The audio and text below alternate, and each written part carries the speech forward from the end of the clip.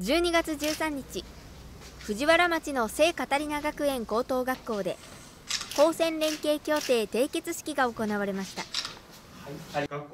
これは聖カタリナ学園高等学校と川原ビューティーモード専門学校松山デザイナー専門学校の3校が美容分野やファッション分野の人材育成のために連携協定を結んだもので専門学校の持つ専門職人材養成のノウハウや専門的な教育施設を生かした教育の活性化を目的としています。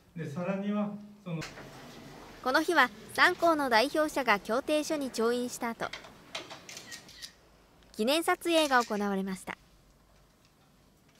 他人の髪の毛を切るとかですねそういったところはちょっとやはりハードルが高く、えー、実際の専門学校で学ばねばならない内容にはなるんですけれども高等学校で、えー、それでもできる実習の分野その分野に、えー、専門学校さんのお力添えを受けましてですね生徒が楽しめる授業最初に本校の学校長もお話をしておったと思うんですが、まあ、生徒自体が学校を楽しみにですね来れるようなあそういう学園学校づくりのために、えー、今までは高校でできなかった実習というのをお力を借りて取り入れていきたい。もうそれが一番です。例えばワインディングという、えー、授業があるんですけども、まあ、そういった、えー、実習をしたりだとかあとはヘアアレンジ。まあ、これも、えー、高校生の、え、生徒さんご興味があるところがあるんじゃないかと思いますが実際、え、ウィッグという、まあ、マニキンのようなものを使って、え、髪の毛を、えー、セットしていくと、まあ、そういった、えー、プロの美容師が直接指導をして、えー、生徒さんたちに体験していただくと、まあ、その体験を通じて、えー、美容師になりたいだとか慢性育の仕事がしたいだとか、まあ、そういう職業観というのを養っていけたらと考えております。